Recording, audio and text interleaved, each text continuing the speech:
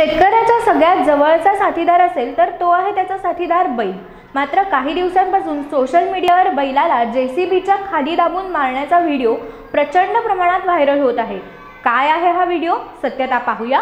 Bhigwan police ठाण्याच्या हद्दीतील कोंदवडी येथे सत्तावीस ऑक्टोबरला बैलाला जेसीपीच्या साह्याने ठार करण्यात आले होते. या घटनेचा व्हिडिओ बनवून तो समाज माध्यमांवर व्हायरल करण्यात आला होता.